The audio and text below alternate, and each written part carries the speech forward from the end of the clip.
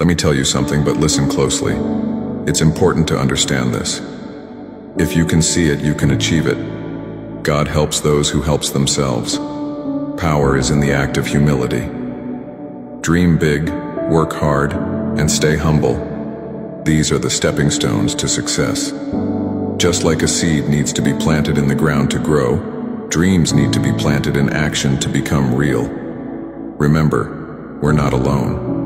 Hard work gets noticed, and support often comes when we least expect it, sometimes feeling like a helping hand from above. But the true strength lies not in seeking the spotlight, but in the quiet moments of selflessness, where doing the right thing when no one is watching matters most. Humility, the quiet sister of ambition, is often the unsung hero in the story of achievement. You're more than you think you are. Stay blessed. If you received this message, comment Amen.